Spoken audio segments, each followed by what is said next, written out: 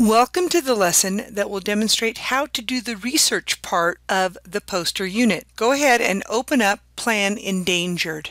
You are going to be taking notes on four endangered animals. This is an example of what the plan will look like when you're done. Take note that the information has incomplete sentences. For now, you're just going to take notes. So go ahead and click on the website. You're going to click on the drop-down menu where it says all animals and choose an animal. If the animal you want to research is endangered but not on this list, you could go to a Google search and type in the animal you're looking for and then possibly National Geographic. You want to make sure that the source is credible. After all, just because it's online doesn't mean that it's accurate. That's why I specified National Geographic. But for now, I'm just going to use Defenders of Wildlife. After searching, I'm going to choose the walrus to get my information. You will need three interesting facts about the animals you choose and two reasons that they are endangered. Feel free to read the entire page. There's not a whole lot of information. You can also get some of your facts under the fast facts. So I'm going to go ahead and write down the weight as you can see, males can weigh up to 3,700 pounds, while females up to 2,700 pounds. Well, on the plan, I will write the animal's name down.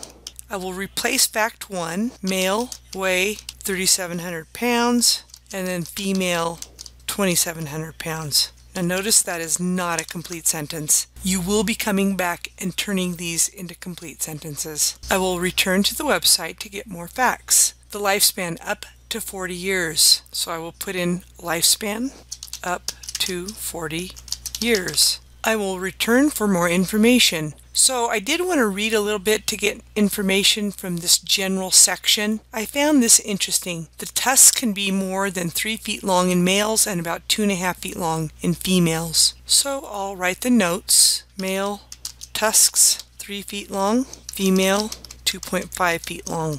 I now have my three facts. Now I need to find out why they are threatened. After reading again, I did see that the tusks are more than three feet long, so I'm going to add that to my poster. Male tusks more than three feet long. To find the threats, you would click on the drop down arrow and choose threats. You would only need to list specific reasons that are causing them to be endangered. One is climate change and the other is oil spills and ship traffic. So I will take one and I will type in climate change and then oil spills and ship traffic.